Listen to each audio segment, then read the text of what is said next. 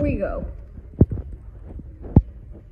Starting with the delicious taste of Honey Nut Cheerios, anyone can have fun taking care of their heart. They're an easy way to help take care of your heart. Cheerios.